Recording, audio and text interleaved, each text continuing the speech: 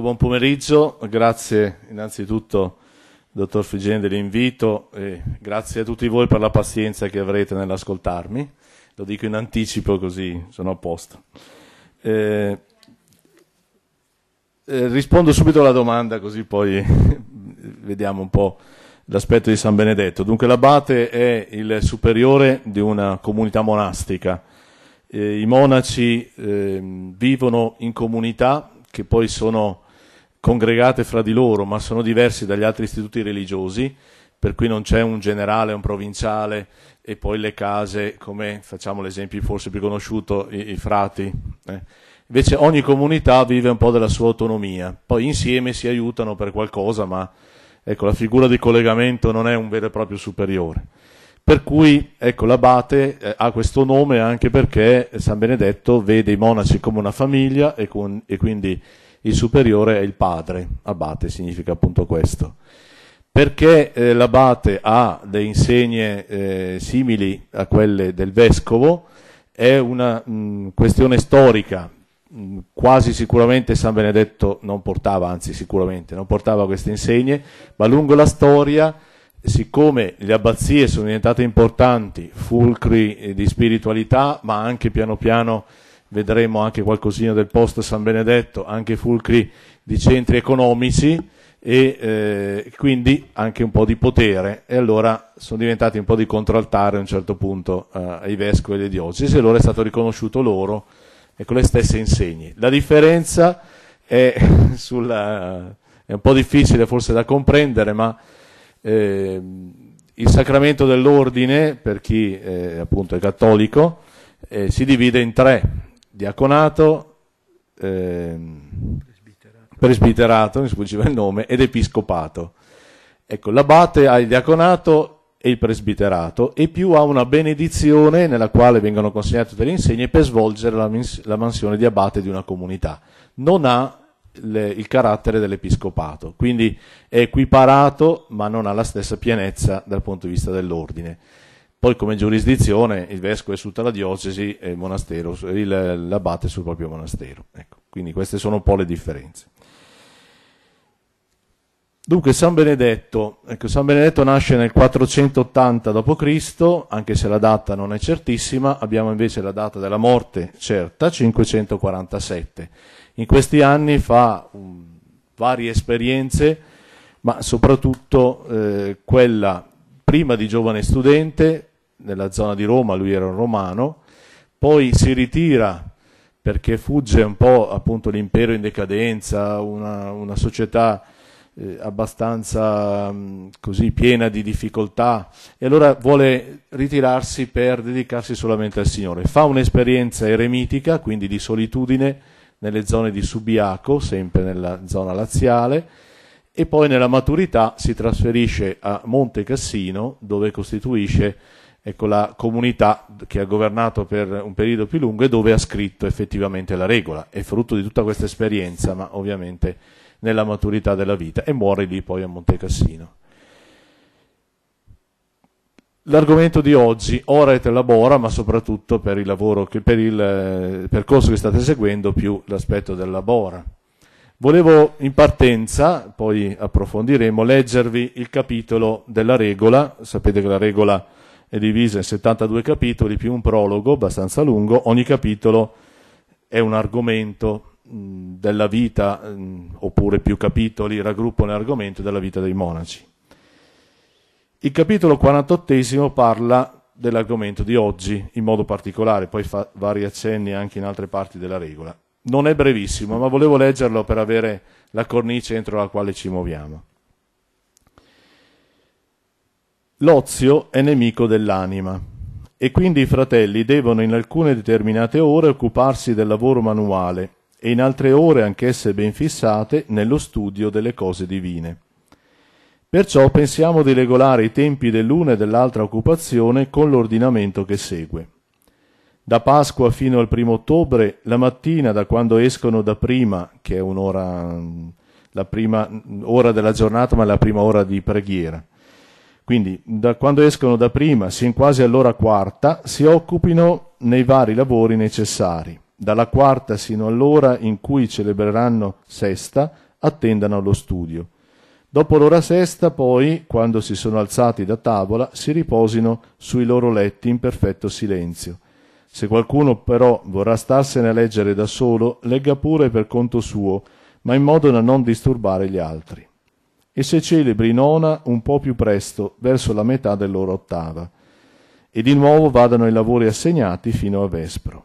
Se poi le condizioni del luogo o la povertà richiedono che gli stessi monaci si occupino nel raccogliere i frutti della terra, non ne siano malcontenti, perché allora sono veri monaci, quando vivono col lavoro delle loro mani, come i nostri padri e gli apostoli. Tutto però si faccia con discrezione tenendo conto dei più deboli. Dal primo ottobre fino all'inizio della Quaresima attendano lo studio fino a tutta l'ora seconda. Finita questa si celebri terza e fino a nona tutti si occupino nel lavoro ed essi, ad essi prescritto. Appena poi si dà il primo segnale di nona, ciascuno smetta di lavorare e si trovano tutti pronti quando suonerà il secondo segno. Dopo la rifezione, poi, attendano le loro letture o ai salmi. Nei giorni di Quaresima, dal mattino fino a tutta l'ora terza, si diano le loro letture e poi fino a tutta l'ora decima si applichino al lavoro ad essi imposto. In questi giorni di Quaresima, ciascuno riceva un libro dalla biblioteca e lo legga per ordine da capo a fondo Tali libri devono essere consegnati al principio di Quaresima. Si pensi bene poi ad affidare ad uno o più signori il compito di girare per il monastero nelle ore in cui i fratelli attendono alla lettura e di osservare se per caso non vi sia qualche fratello fannullone che si dà all'ozio o alle chiacchiere e non si occupa nella lettura, sicché non solo è inutile a se stesso, ma disturba pure gli altri. Se si trovasse, non sia mai, un fratello simile, venga ripreso una prima, una seconda volta. Se non si emenda, soggiace al castigo regolare, in tal misura che gli altri ne abbiano timore. Né un fratello si accompagna ad un altro nelle ore non permesse. Anche alla domenica si diano tutti alla lettura, eccetto quelli che siano assegnati all'uno o l'altro ufficio.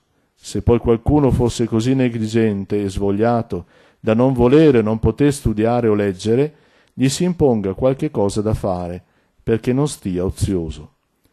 Ai fratelli infermi o di delicata costituzione si assegni un lavoro o un'arte tale che da una parte li mantenga occupati e dall'altra non li opprima con la soverchia fatica e non li induca ad andar via. La loro debolezza deve essere dall'abate tenuta in considerazione. Questo capitolo ha come titolo del lavoro manuale quotidiano. Ecco, vedete come già San Benedetto eh, parla sì del lavoro, poi ci sono altri passaggi che vi leggerò, ma in questo capitolo si occupa soprattutto di trovare un equilibrio per ogni stagione, per ogni situazione, per ogni momento, anche della stessa giornata, un equilibrio perfetto tra la preghiera, che qui non è citata perché ci sono altri capitoli, quasi 13, che parlano della preghiera, tra la preghiera, il lavoro e la lettura. Infatti tanti studiosi dicono che il principio ora et labora, il motto ora et labora, che non è di San Benedetto ma è stato attribuito successivamente ai Benedettini, andrebbe integri- integrato con ora, legge et labora. Ma prima di approfondire un po' l'aspetto di San Benedetto, penso sia necessario fare un passo indietro, vedere alcuni aspetti di chi l'ha preceduto per poi vedere appunto come San Benedetto parla in modo particolare del lavoro. Il monachesimo primitivo o monachesimo antico. Il monachesimo primitivo scopre subito un valore spirituale dato al lavoro.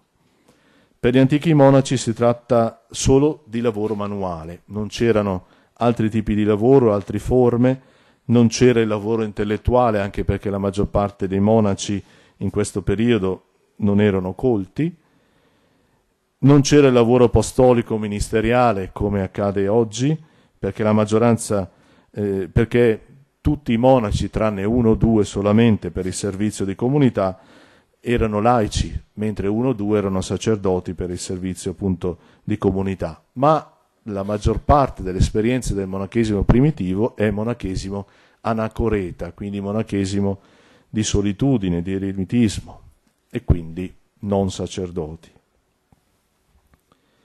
Lavoro significava per questi monaci quindi solamente lavoro manuale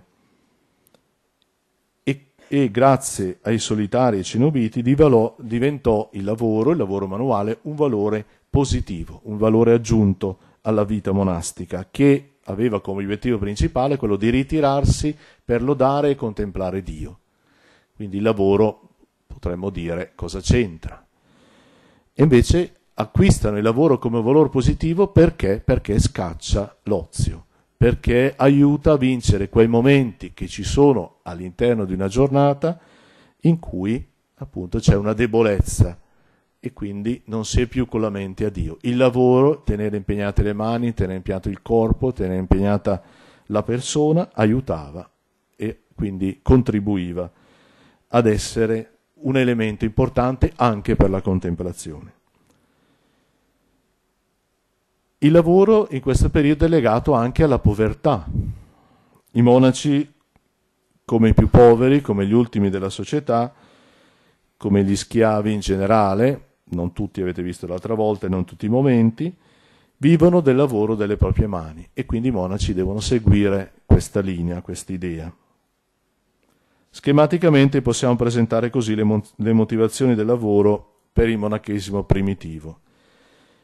Il lavoro diventa un elemento essenziale della vita monastica. Abbiamo visto, appena detto, appunto, è un qualcosa che si integra nella vita, nella giornata. Il lavoro ha più scopi, non solamente uno.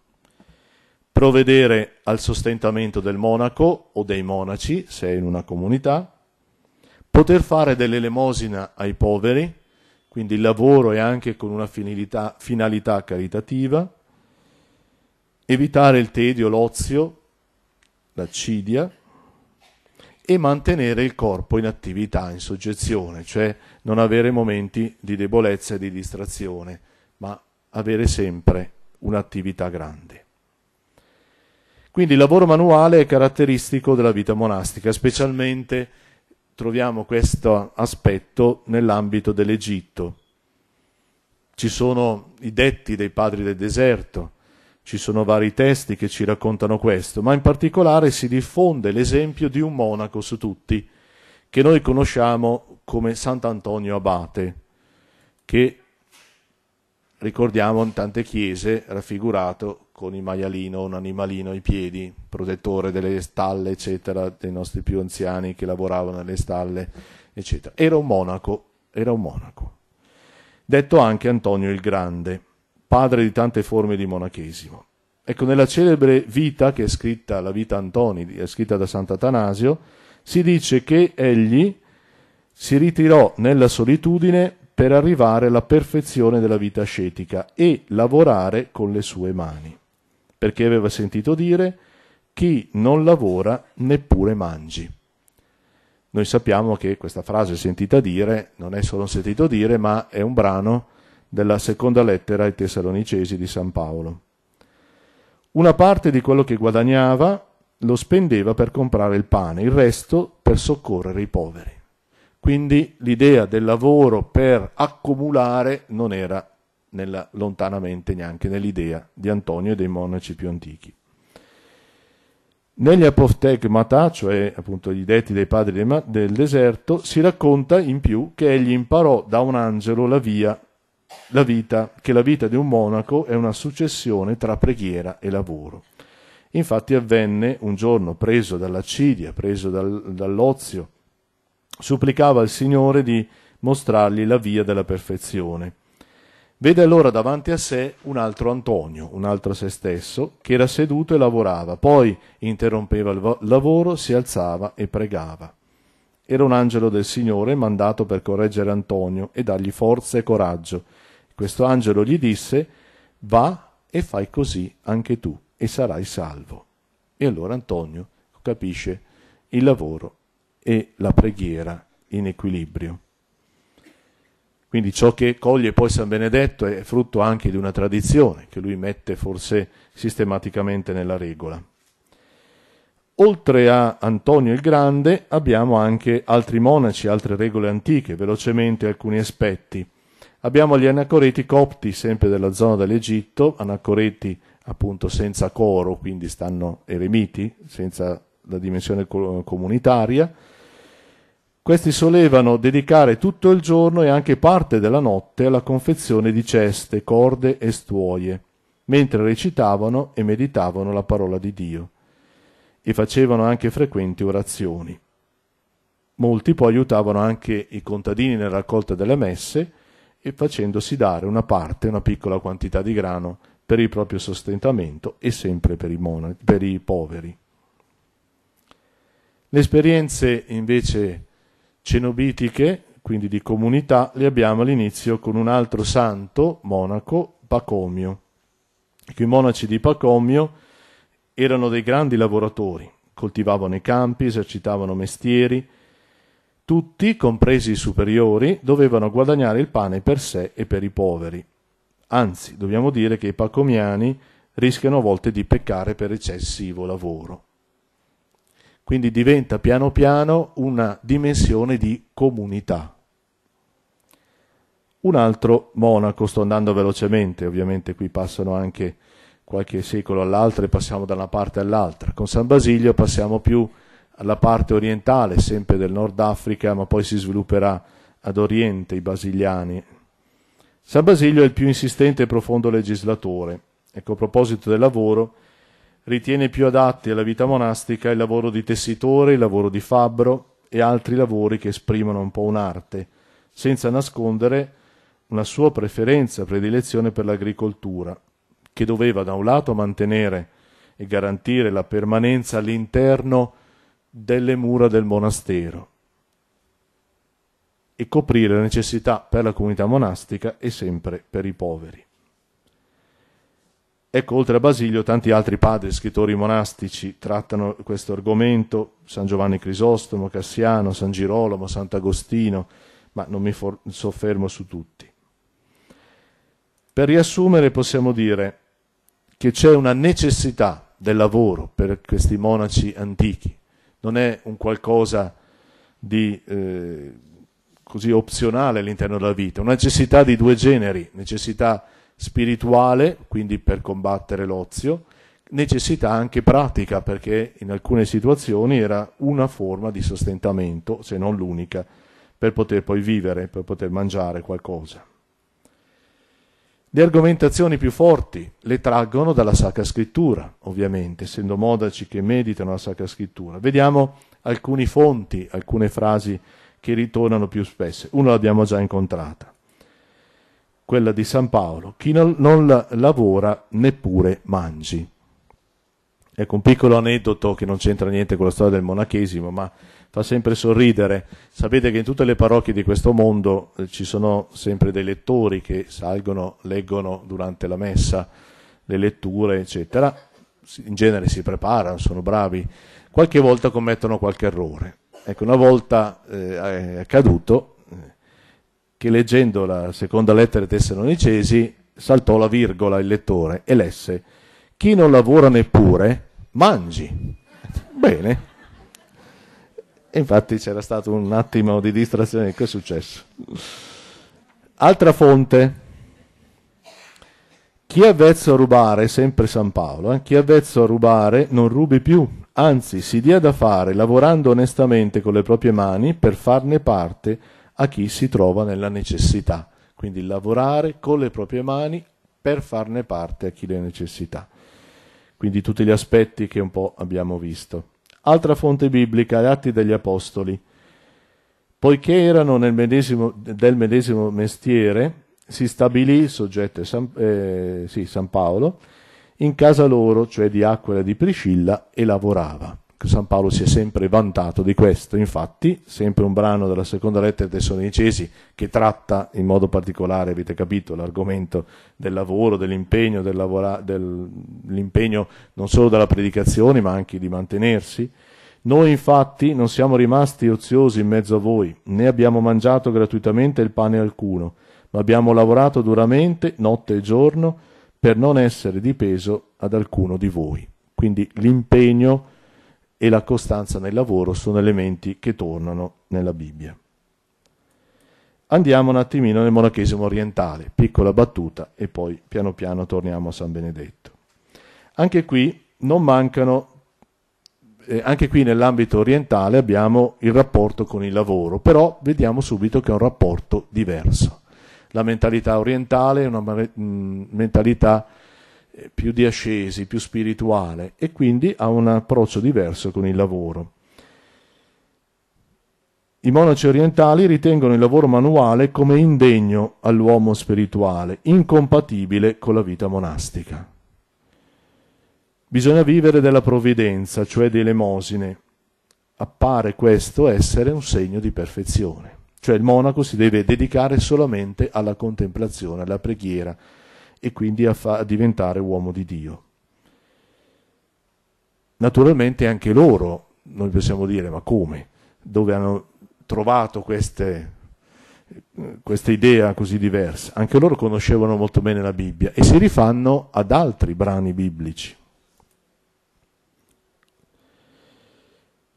Un'evangelica di Matteo, non affannatevi per la vostra vita, di quello che mangerete o di quello che berrete, è una frase di Gesù.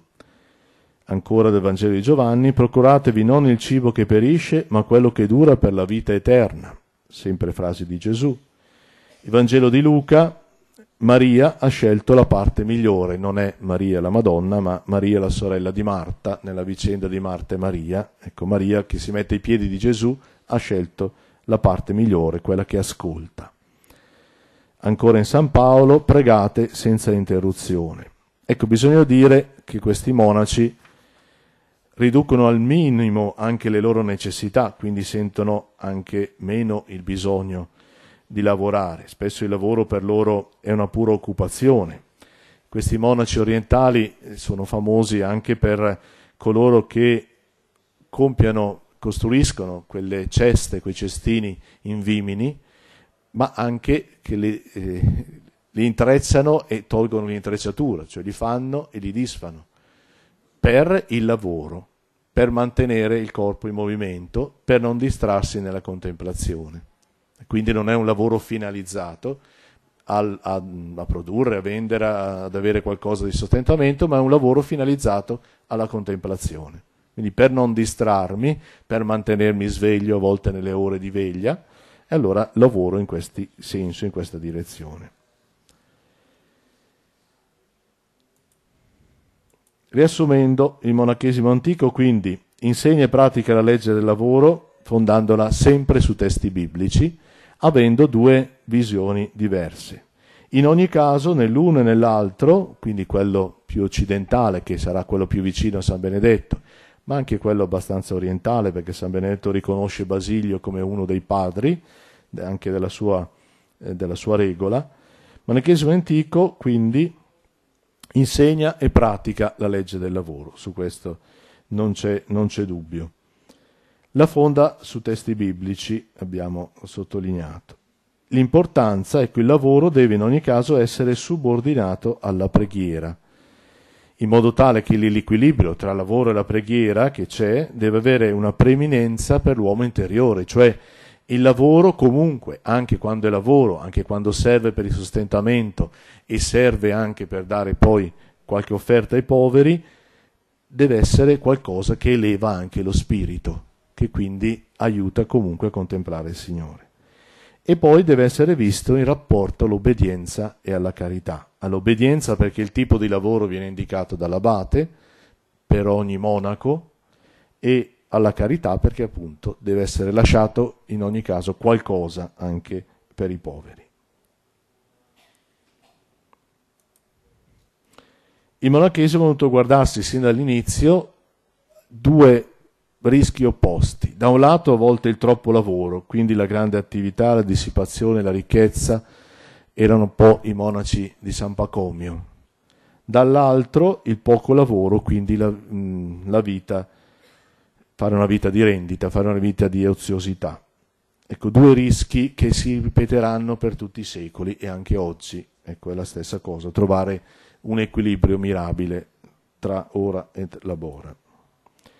Veniamo allora a San Benedetto, Che situazione abbiamo nel V-VI secolo d.C., dove mh, periodo in cui San Benedetto vive? Ecco, la situazione del lavoro dei monaci era cambiata rispetto al monachesimo primitivo. Non risulta che i primi monaci in Occidente, quelli di Martino, San Benedetto trova già in Occidente dei monaci, quelli di San Martino, non risulta che lavorassero. Della sua comunità si dice che non si esercitava alcun mestiere se non quello di scrivano, a cui inoltre venivano adibiti i più giovani, mentre gli anziani si dedicavano esclusivamente all'orazione. Così Cassiano un altro monaco che ha scritto parecchi libri, parecchi documenti, si lamenta che i monaci in Occidente non lavorano molto in questo periodo.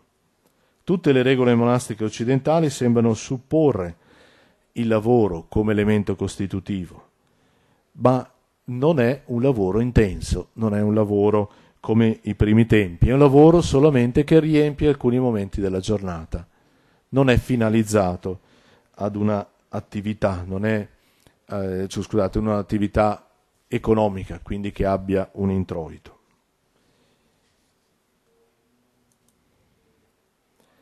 Il lavoro in questo periodo sembra essere diventato anche un problema. Quale lavoro? Perché lavorare? Ma soprattutto quale lavoro? Perché?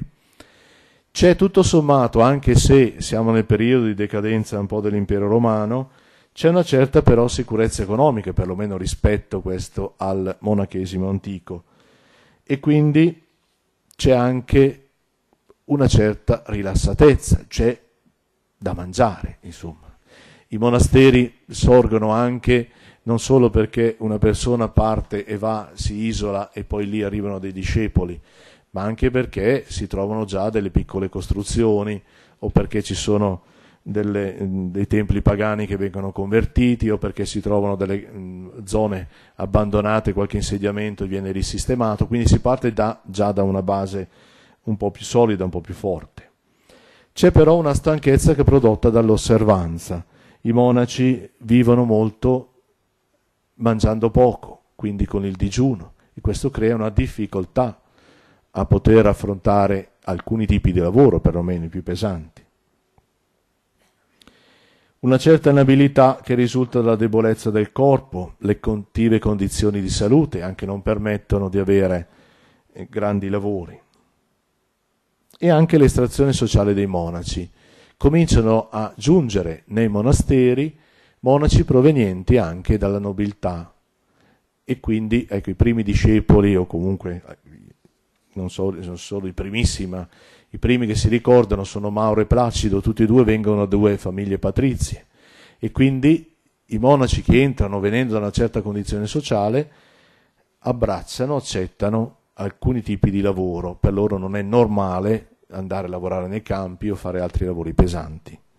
E quindi cambia un po' ecco, la mentalità all'interno San, del, dei monasteri nel periodo di San Benedetto. Una premessa importante ancora è quella legata a una fonte della regola di San Benedetto, che è la regola magistri, cioè la regola del maestro. Chi sia questo maestro non si riesce ad attribuire, però è una regola che girava abbastanza nei monasteri e veniva applicata in vari monasteri, quindi quelli di San Martino e i precedenti. La regola magistri è illuminante perché vuole il lavoro manuale, ma esclusivamente per evitare l'ozio. Non c'è assolutamente una riga che parli del lavoro dei campi, perché? Perché se bisogna lavorare ai campi c'è la necessità poi di dover dispensare dalla legge del digiuno, perché le due cose non possono stare in piedi e neanche i monaci riescono a stare in piedi. Mm?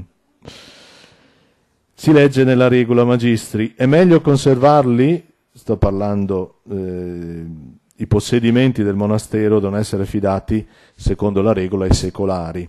È meglio conservarli lasciando la preoccupazione ad altri e percepire con sicurezza delle rendite annuali, senza pensare ad altro che all'anima. Difatti, se facessimo coltivare campi ai fratelli spirituali, imponendo loro lavori pesanti, essi perderebbero l'abitudine di digiunare. Perciò, come lavoro del monastero, ci sia solo qualche mestiere e l'orto. Quando si dice qualche mestiere si intende le arti, quindi o eh, la prima avvisaglia degli emanuensi, dei scrittoria, eccetera, ma vedremo più in là, e eh, alcune attività manuali con il legno, eccetera, fabbro, ecco queste attività appunto legate più all'artigianato, noi diremmo oggi, e l'orto. L'orto per ricavare quel poco appunto per la tavola. Per il maestro anche l'orto in verità è un, un, un compito un po' ingrato, infatti lo lascia solamente a quei fratelli che non si sono impegnati o non hanno potuto o voluto imparare un mestiere. Il capitolo dedicato al lavoro nella regola magistri, l'86esimo, rivela la mentalità monastica dell'epoca e di cento anni circa prima di San Benedetto. Affidare ai secolari la coltivazione dei campi, occuparsi solo dei lavori manuali e meno pesanti, in modo di n- non dover lasciare ai monaci la possibilità di togliersi la regola dei digiuni. Ecco, questa del digiuno torna spesso oggi magari per noi è una cosa un po' particolare, ma la forma del digiuno era la forma di, di penitenza più alta eh? e quindi la dimensione del digiuno era fare penitenza per conformarsi a Cristo, che ha patito anche sulla croce, eccetera, quindi c'è questa dimensione che per noi magari oggi è un po' più difficile da comprendere o anche da vivere. Ecco, San Benedetto, San Benedetto eh, risente ovviamente di questa mentalità, è, è su questa linea anche lui, però vedremo che introduce qualche novità. Il lavoro manuale, che è considerato da San Benedetto, lasciamo perdere un attimo il lavoro dei campi che poi emergerà più tardi, non è il lavoro pensato anche da San Benedetto per il sostentamento dei monaci. L'orto sì, poteva bastare per la cucina, ma niente di più.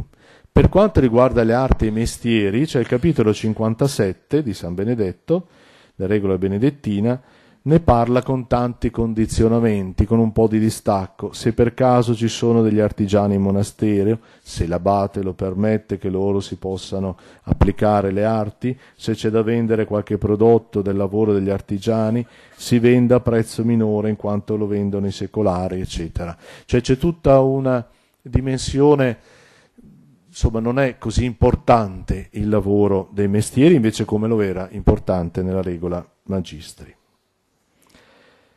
Quindi San Benedetto da un lato si trova in linea con il monachesimo del suo tempo, dall'altra però c'è una certa svolta.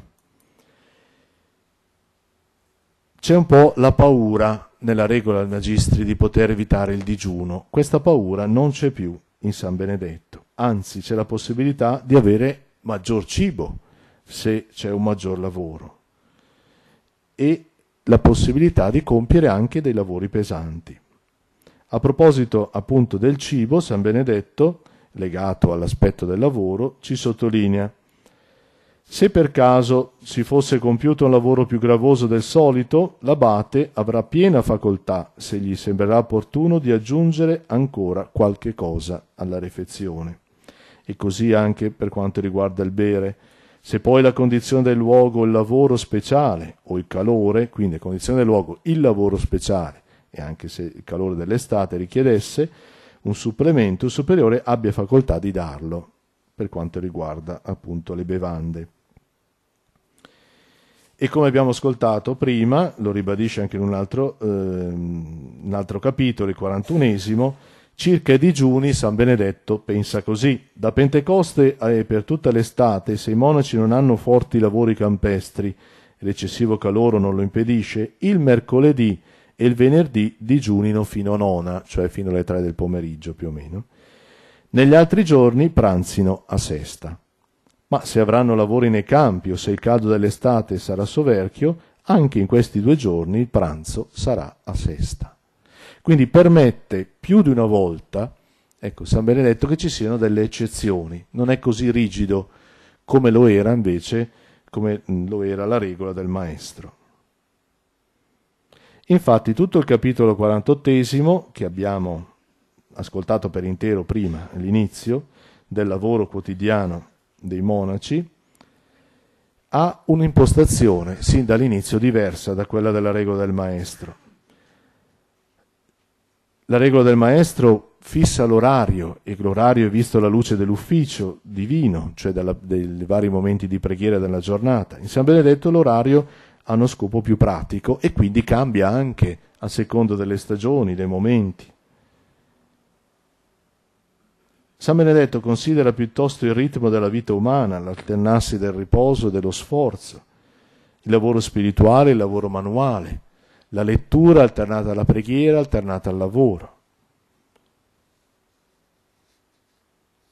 A un certo punto del capitolo 48, che abbiamo ascoltato prima, c'è questa frase, questa parte centrale su cui ritorniamo. Se poi le condizioni del luogo, la povertà richiedono che gli stessi monaci si occupino nel raccogliere le messi, non ne siano malcontenti, perché allora sono veri monaci quando vivono del lavoro delle loro mani, come i nostri padri e gli apostoli. C'è una particolarità in questa frase. Se poi le condizioni del luogo, il latino inizia con un sì, perché allora sono veri monaci, quando vivono ancora c'è un sì, però questo sì regge due verbi diversi. Mentre la prima parte è condizionale, cioè cioè congiuntivo, ma nel senso dà una condizione, se quindi non è un qualcosa di determinato. Invece sotto, perché allora sono veri monaci quando vivono del lavoro delle loro mani. Quindi qui esprime un concetto forte, una verità forte per San Benedetto. Sono veramente monaci quando. Da qui possiamo cogliere un principio generale che San Benedetto applica poi in varie parti della regola, laddove c'è sempre la dimensione appunto del lavoro. San Benedetto inculca questo principio generale, che è della vita monastica, ma possiamo dire anche della vita cristiana. Cioè, uno è veramente monaco quando lavora con ricava quindi la possibilità di vivere e di sostenersi col lavoro delle proprie mani.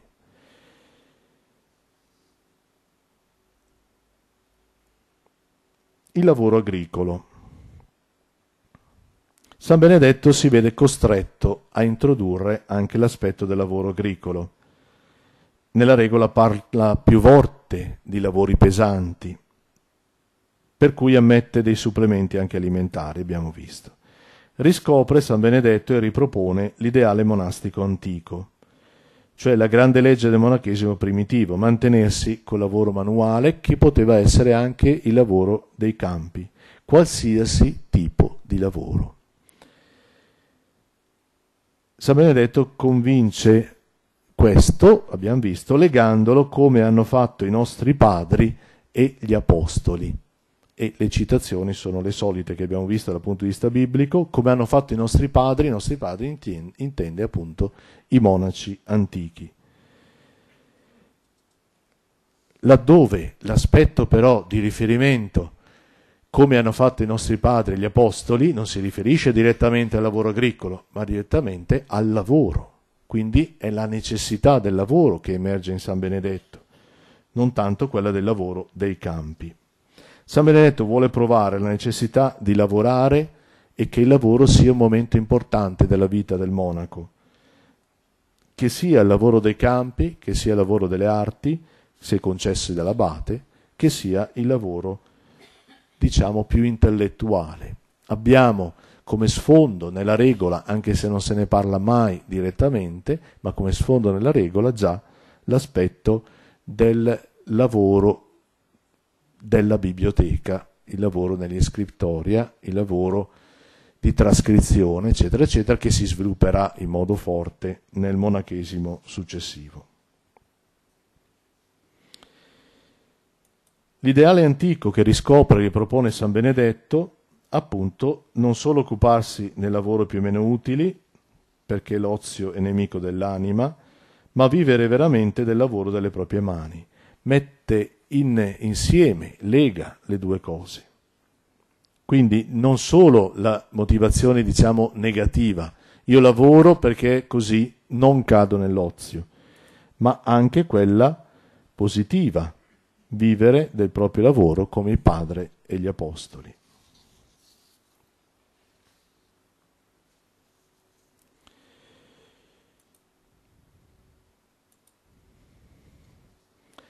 Quindi in San Benedetto possiamo dire, ripartendo dal capitolo 48 sul lavoro quotidiano, il 57 sugli artigiani, che ho letto a sprazzi, possiamo fare un affondo velocemente perché questo è interessante.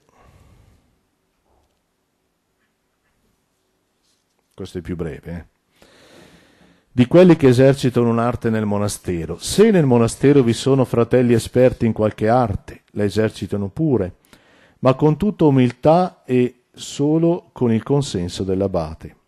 Se però qualcuno di loro si insuperbisce per la perizia che ha nell'arte sua, perché crede di portare un utile al monastero, costui sia tolto dall'esercizio e da quell'arte, e non sia più ammesso, salvo che non si umili e l'abate non glielo permetta di nuovo. Se poi qualche prodotto del lavoro di tali artigiani si debba vendere, quelli che hanno l'incombenza di trattare la cosa siano cauti a non commettere alcuna frode, si ricordino sempre di Anania e Safira, perché la morte che questi subirono nel corpo, essi e tutti quelli che avranno defraudato le sostanze del monastero non abbiano a soffrirla nell'anima. Non gli stessi prezzi poi si insinui il vizio della cupidigia, ma si venda sempre a prezzi più inferiori a quelli correnti fra i secolari, perché in tutto sia glorificato Dio. Quindi anche l'esercizio dell'arte, con l'umiltà, l'obbedienza, eccetera, senza che sia un riempimento di orgoglio da parte del monaco, ha una finalità appunto di valutare, rivalutare il lavoro da un lato, ma dall'altro anche quello che abbiamo detto una motivazione negativa di vincere appunto l'ozio. Quindi abbiamo il capitolo 48 quotidiano, questo sugli artigiani, il 66 che parla della portineria e ha un aspetto, un appendice, dove sottolinea che tutto ciò, tutta l'attività lavorativa deve svolgersi all'interno del monastero. Quindi questo è un altro principio forte per San Benedetto.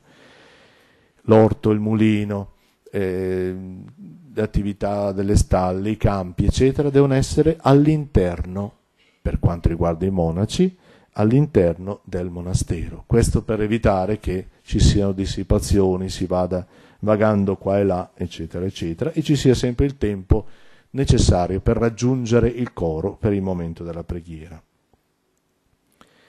Da questi tre capitoli, da quello che abbiamo detto, ecco, possiamo forse riassumere in questo modo. Innanzitutto, che il lavoro per San Benedetto è un'ascesi, il lavoro è uno strumento di perfezione, il lavoro ha e riacquista una dignità.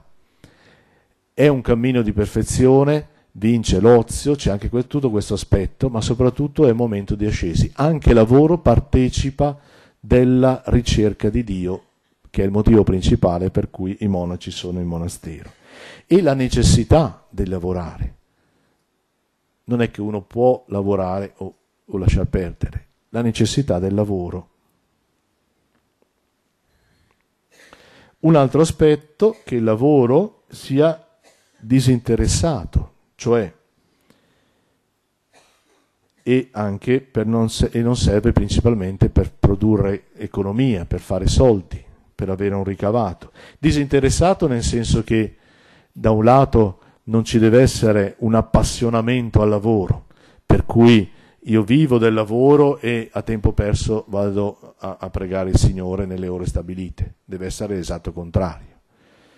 E poi appunto non ci deve essere un legame economico, tanto è vero che i prodotti, anche delle arti, dei mestieri, vengono venduti a prezzo inferiore. Questo non per vincere la concorrenza. Eh?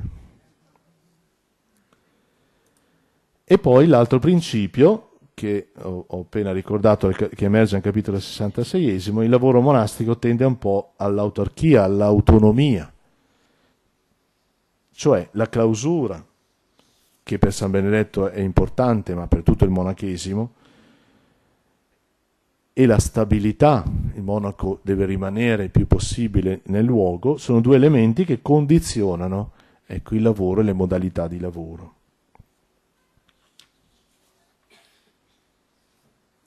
Capitolo 66, nella parte centrale, dice così, il monastero poi deve essere possibilmente organizzato in modo che al suo interno si trovi tutto l'occorrente, ossia l'acqua, il mulino, l'orto, i vari laboratori, per togliere ai monaci ogni necessità di girellare fuori o di gironzolare, secondo le traduzioni, il che non giova affatto alle loro anime.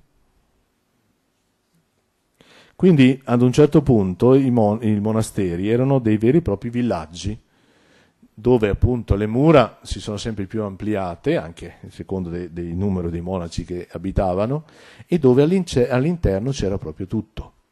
Pensate eh, i salti mortali che dovremmo fare oggi per eh, rispettare questa indicazione della regola. Mm. Per cui non ci mettiamo a fare il pane, ce lo facciamo portare, almeno non andiamo in bottega. abbiamo visto il prima di San Benedetto, volevo fare un piccolo, abbiamo ancora del tempo. Sì, sì, sì, sì. anche perché già che ho chiesto magari poi in 5 minuti, 10 minuti di farci vedere il monastero, no? magari l'avete già visto, però qualche, qualche flash, eh? un quarto alle 5. Ah, beh, allora abbiamo ancora del tempo, ok. No, va bene o non vi interessa? Va bene? Ecco, vediamo adesso alcuni a salti abbastanza veloci, alcuni momenti post San Benedetto, eh, per vedere un attimo. Poi vi dico anche cosa facciamo oggi. Eh, eh appunto, è quello che mi veniva. veniamo a comprare a prezzi bassi e veniamo da voi allora, eh.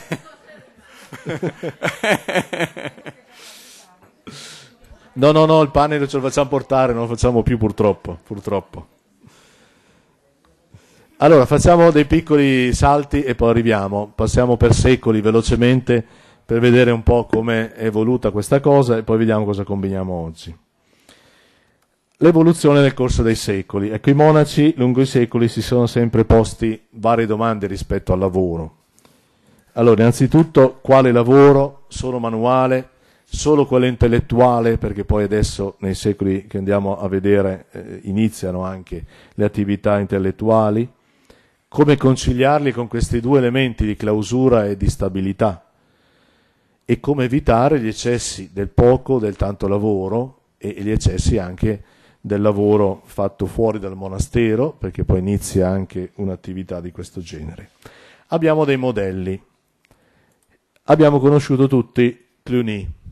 Ecco, il modello cluniacense è un modello sconvolgente da questo punto di vista il lavoro, chi se lo ricorda, nel senso, si altera completamente l'equilibrio tra preghiera e lavoro, soprattutto eh, verso i 900, gli anni del Novecento, anche metà dell'Ottocento Novecento.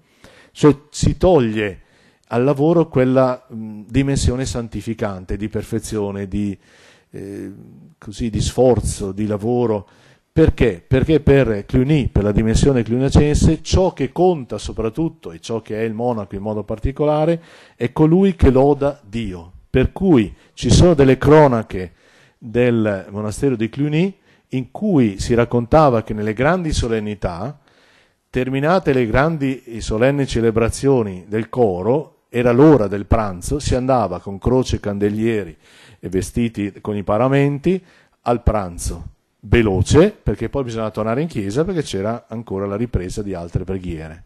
No, era talmente grande il tempo dedicato alla, alla, alla, preghiera, all'adorazione, eccetera, eccetera, per cui ecco, il lavoro diventa una cosa minima. Il lavoro principale era quello dei secristi. Si toglie quindi questa dimensione. La vita del monaco è consacrata esclusivamente all'ufficio divino. Un altro elemento importante che cambia le attività, cambia lo stile dei monasteri è la clericalizzazione della vita monastica. Abbiamo visto all'inizio sono quasi tutti laici, tempo di San Benedetto dice nella regola ci siano uno o due sacerdoti per il servizio della comunità. Con il Medioevo, mm, diciamo intorno al 1000, 900-1000, eh, già con Cluny, c'è la clericalizzazione. Cosa vuol dire? Vuol dire che molti monaci accedono agli ordini sacri perché i monaci sono essenzialmente consacrati a Dio, cioè consacrati vuol dire fanno una professione di dedicare tutta la loro vita nella preghiera, nel lavoro e nella meditazione. Poi si aggiunge a questo, per chi vuole, anche la consacrazione presbiterale, diaconale presbiterale. La clericalizzazione vuol dire che molti chierici, quindi molti eh, acquistano, acquistano pardon, molti accedono all'ordine sacro, questo cambia le attività diventano attività di lavoro, tra virgolette, perché hanno un loro contributo, anche le attività liturgiche. Cioè è il periodo in cui, prima del mille per paura della morte, che tutto finisca, eccetera, dopo per ringraziamento e per eh, fare in modo che l'anima sia garantita anche in futuro una preghiera continua, si offrono tantissime celebrazioni, cioè ci richiedono tantissime celebrazioni di messe e si offrono quindi eh, denaro oppure lasciti ai monasteri, eccetera. E quindi diventa un'attività anche la celebrazione delle messe di suffragio.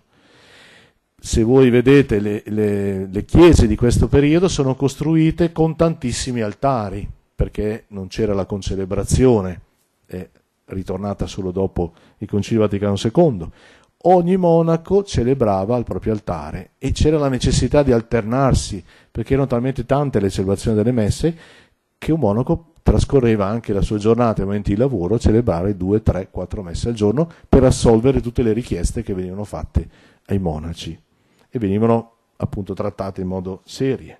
Nasce così una distinzione tra i monaci. Ci sono i monaci di prima classe e ci sono quelli di seconda classe che sono i conversi. Cioè, adesso ho fatto per battuta prima classe e seconda classe, ma a un certo periodo storico è veramente così. I conversi sono coloro che per eh, poca cultura o per scelta o per altri motivi non accedono all'ordine sacro e quindi sono coloro che fanno i lavori manuali, ma non perché sia mm, migliore uno o l'altro, ma perché gli altri erano occupati a celebrare l'ufficio per i suffragi, eccetera. Quindi cambia tantissimo all'interno dei monasteri. E ai appunto, conversi vengono dati i lavori agricoli, i vari mestieri, gli altri sono dedicati alla liturgia. Questo porta all'eccesso, eh? 8-900 per per i monasteri che rimangono, perché in Italia eh, prima Napoleone, poi lo Stato italiano ha fatto piazza pulita, comunque i monasteri in Europa che rimangono, questa divisione diventa fortissima. Tanto è vero che addirittura i monaci quando si riuniscono in comunità, in capitolo, si dice, eh, per discutere qualcosa, poi votano, eccetera, eccetera, potevano accedere solo i monaci con gli ordini sacri, mentre gli altri non potevano. Ecco, nelle monache questa divisione è ancora più forte. Cistercensi, una branchia del monachesimo, seguendo l'onda di San Bernardo, vuole tornare all'interpretazione più fedele della regola, quindi in contraccolpo a Cluny vuole riportare il lavoro, l'equilibrio tra preghiera e lavoro. E quindi si riabilita il lavoro matua- mm, manuale che per i cistercensi è esclusivamente agricolo, cioè è una riforma che va nella radicalità. Voi avete ceduto da una parte, noi vogliamo rimettere l'equilibrio di San Benedetto. E nascono in questo periodo le grange, cioè mm, queste, eh, oggi le chiameremo le aziende agricole che nascono all'interno però dei monasteri. Poi il modello viene portato fuori. Il secolo XII vede purtroppo l'arricchimento dei monasteri per donazioni, lasciti, per quel motivo che ho detto prima. Il purtroppo è derivato dal fatto che allora ci si sta un po' più comodi, più tranquilli, il lavoro perde nuovamente il suo senso, il suo significato e l'agiatezza non è mai una cosa buona neanche nei monasteri, anzi soprattutto. C'era, c'era, c'è stata, sì, sì, con grande sfarzo alcune volte eh, vediamo alcune chiese, alcune costruzioni. Riforma funziona sempre così. Allora, San Guglielmo, i Virginiani, San Pier Damiani, San Giovanni Gualberto, San Silvestro, i Silvestrini, riforme di altri gruppi di monaci che fanno tornare il monachesimo a una dimensione diciamo più con i piedi per terra, con il lavoro che riprende il suo senso più profondo e anche la povertà mm, in contraltare a quello che si diceva. Casualmente, il secolo successivo, ecco, abbiamo passato questi periodi del, del Medioevo degli alti e bassi, ritorniamo ad una situazione invece di agiatezza. L'economia eh, riparte, è un'economia che non è più agricola e quindi non c'è più la possibilità neanche di reggersi solamente con la dimensione dell'agricoltura e quindi si accettano volentieri questi lasciti perché in questo momento non si sa come affrontare la cosa.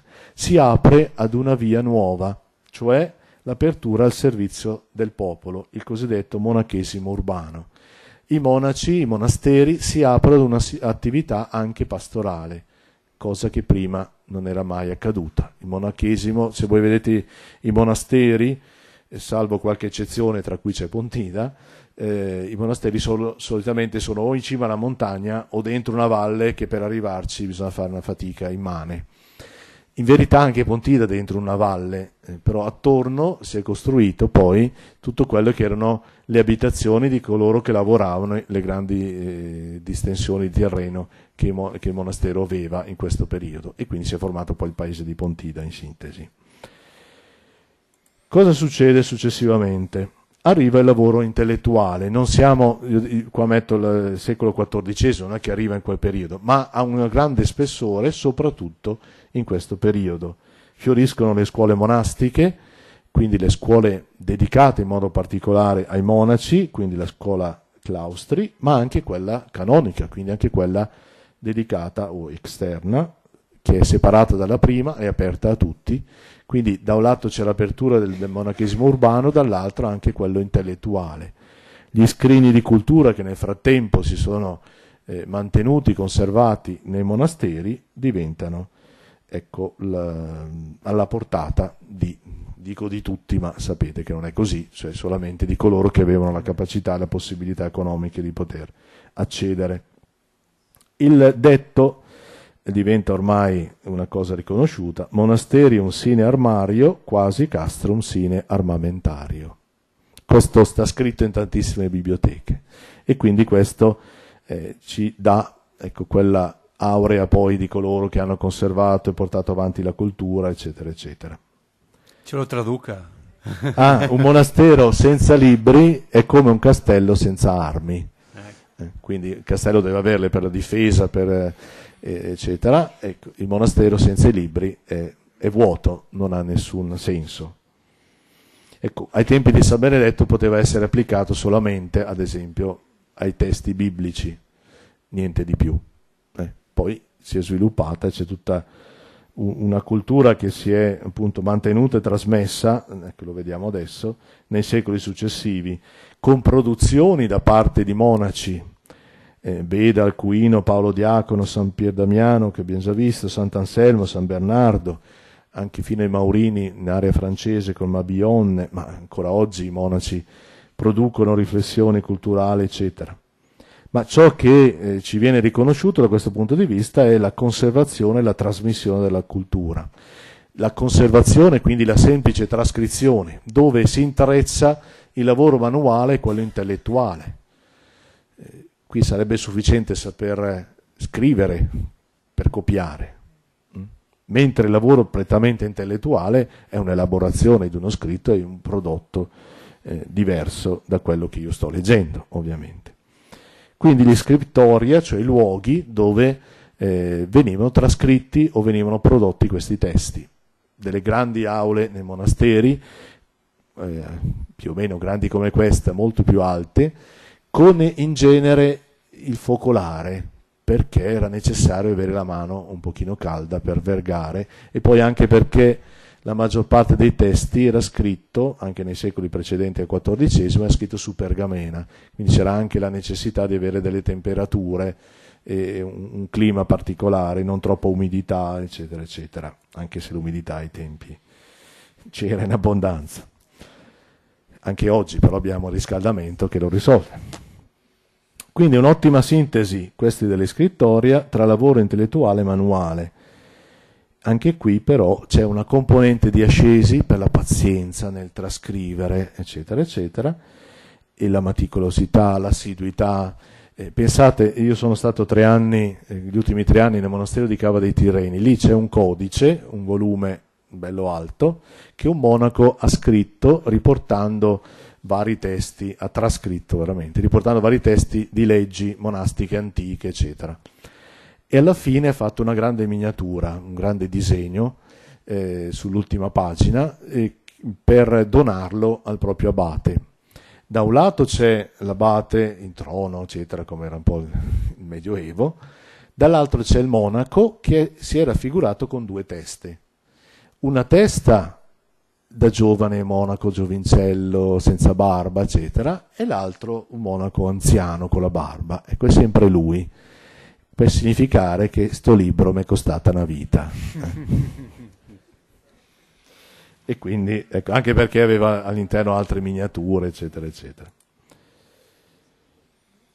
Vabbè, forse questa parte del concilio, eccetera, possiamo, possiamo saltarla, se non siamo troppo avanti con i tempi.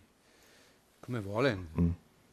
Magari un accenno, sì. Facciamo un accenno velocissimo, cioè, eh, oggi noi come monaci moderni, diciamo così, come monaci del giorno d'oggi, contemporanei più che moderni, eh, abbiamo a che fare con una, una, sottolineatura, un aspetto del lavoro che recupera un po' quella originaria di San Benedetto, ma dall'altra, in un certo senso, eh, introduce delle novità. Il Concilio Vaticano II ha sconvolto la vita a tutti dal punto di vista strettamente ecclesiale e quindi abbiamo da confrontarci con altri aspetti che sentiamo oggi più vicini.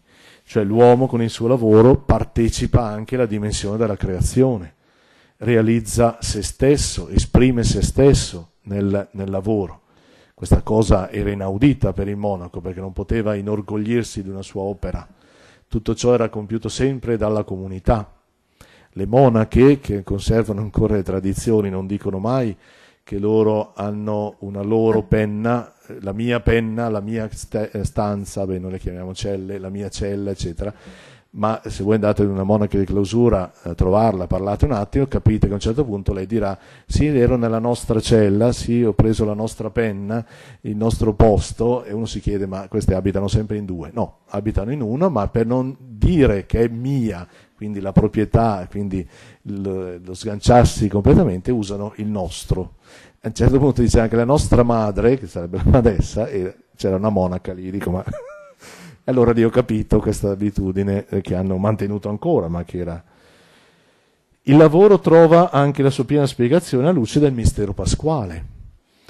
Passione, morte e resurrezione, nell'ambito cristiano, la passione morte è la fatica del lavoro, la risurrezione è anche il risultato del lavoro, il lavoro fatto per qualcuno. Cristo dà la vita per noi, quindi il lavoro è fatto per, non è qualcosa eh, solamente singolare, personale. Cristo è anche l'uomo del lavoro, viene sottolineato l'aspetto di lui che è stato per tanto tempo con San Giuseppe, anche lui fa legname, eccetera, eccetera.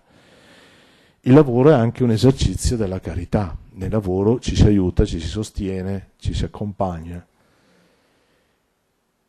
il lavoro sviluppa anche il regno dei cieli, nel senso sviluppa la comunità. Il regno dei cieli, noi pensiamo subito a quello che verrà, ma il regno dei cieli è anche la Chiesa che cammina oggi, quindi si sviluppa, amplifica la riflessione. Qui il lavoro è intellettuale e manuale nello stesso tempo. Infatti si supera il, il dualismo tra lavoro manuale e lavoro di qualsiasi altro genere, o lavoro intellettuale, lavoro delle arti, eccetera. Eh, perché? Eh, il lavoro in sé ha un suo ruolo, un suo compito. E quindi ecco, oggi eh, il monaco ha delle domande, delle situazioni da affrontare. Innanzitutto è un, suo, il, è un uomo del suo tempo e quindi deve confrontarsi e relazionarsi con questo. Deve dare una testimonianza oggi di un lavoro serio, di un lavoro impegnato. E c'è la mentalità che dicono, vabbè, quelli stanno dentro lì, mi fermo qua, abbiamo già capito. Però ecco, c'è il lavoro all'interno di questa comunità che non è immediatamente redditizio. Questo ci dovrebbe però far pensare tantissimo. oggi dove il lavoro è soldi, uguale soldi purtroppo, ci sono persone che vivono il lavoro in modo diverso. Vivono il lavoro a lode a Dio, vivono il lavoro eh, in comunità, vivono il lavoro anche per sostenersi, per carità, ma non per fare un guadagno, per prendere di più, eccetera, eccetera. Per vivere. E anche regolato durante la giornata, non ci sono gli straordinari in monastero, non esistono proprio, ma perché eh, non è dell'uomo, ci sono degli orari, basta. La cosa che non finisce oggi si fa domani ma non per dire, e eh vabbè, c'è ancora un domani, ancora un altro, no, ma nel senso, ecco, non deve esserci l'ansia del lavoro. Il lavoro è in equilibrio con la preghiera, per noi, ovviamente. E quindi, ecco, combatte eh, questa idolatria del lavoro fi- al fine di possedere sempre di più. Quali lavori allora oggi i monaci Innanzitutto anche oggi i monaci, per essere veri monaci, lo dice San Benedetto, quindi questo ci tocca, eh, devono vivere del lavoro delle proprie mani, quindi del proprio lavoro. E questo è abbastanza diffuso in tutti i monasteri. Creme, cremine, eh, pomate, unguenti, liquori, amari, sono alcune delle attività ecco, che si svolgono in vari lavori.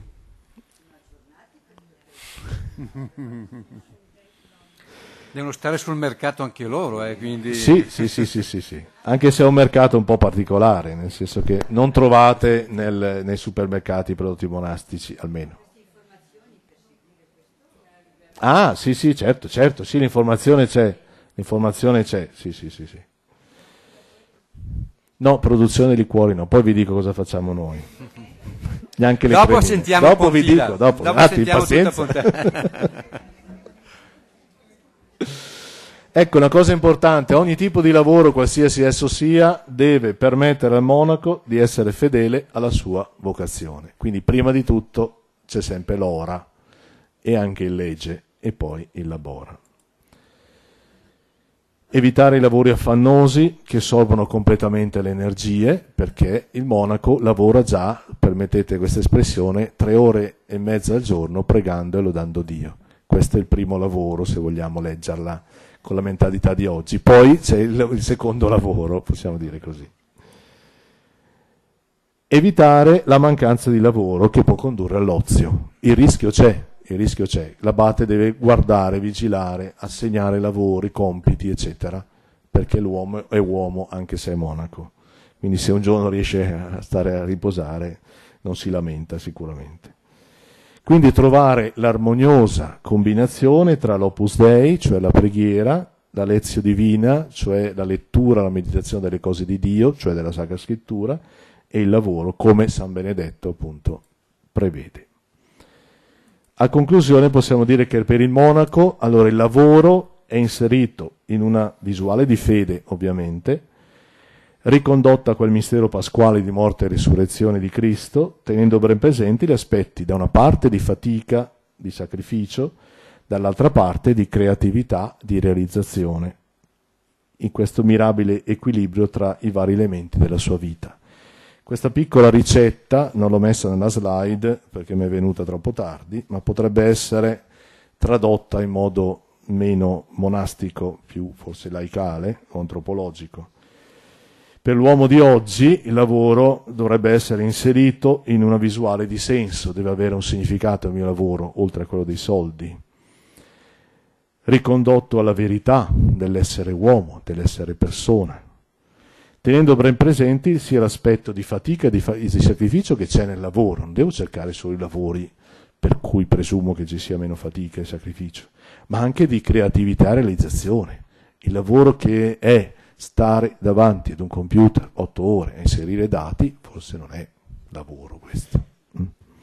In un mirabile equilibrio con tutti gli altri elementi della propria vita, quindi con una sfera anche spirituale, con la dimensione familiare, con la dimensione della società, di una comunità in cui ogni uomo è inserito.